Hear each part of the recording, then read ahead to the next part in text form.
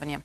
Сега ще се пренесем далеч извън границите на страната ни, където обаче живее българския дух. Оказва се, че той не е само в сърцата на българите в чужбина, но и на германци, основали български фолклорен състав преди повече от 30 години в Мюнхен. Кореспондентът ни в Германия, Натали Пашева, разказва.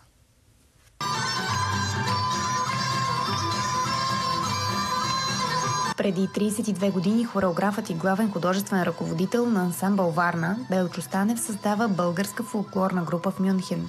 Той обаче не е сам. Сред основателите са и германци, открили магията в българския танц. Тогава пада желязната завеса и източна Европа се открива към западния свят.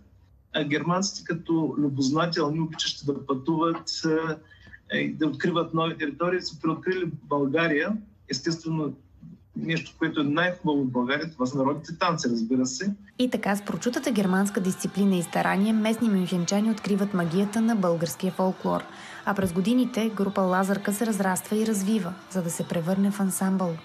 Влизането на България в Европейския съюз, навлиза вече и българска следа в Лазарка нови изпълнители, като тогава вече се преформя и целта, освен красотата на нашите танци започва да се влагат така и от българските танцори е, страстта и любовта към България, което е така прераства в една друга, е, друго измерение.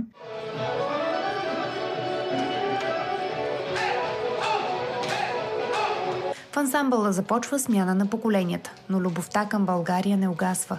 Сред танцорите и потомка на първите германски основатели на състава. Преди няколко месеца се появи момиче, което ни попита може ли да танцува с нас, че имала а, интерес и опит. Даниела се казва. И веднага, нали, от, още от първия разговор, разбрахме, че е дъщеря на един от основателите на Лазарка, който е германец. Да.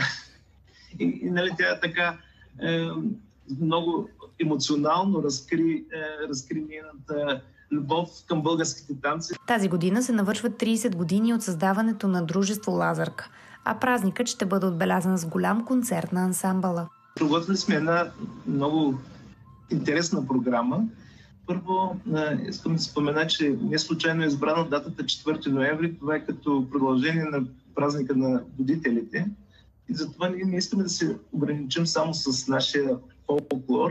И затова сме организирали една изложба на фотограф, художничката Анелия Тонева, която ще представи картини на български жени в национални носии, плюс оригинални костюми, оригинални народни носии. Също така професор Емил Иванов е поканен дали с неговата изложба, която ще ни бъде предоставена от Генералното консулство на Република България в Мюнхен.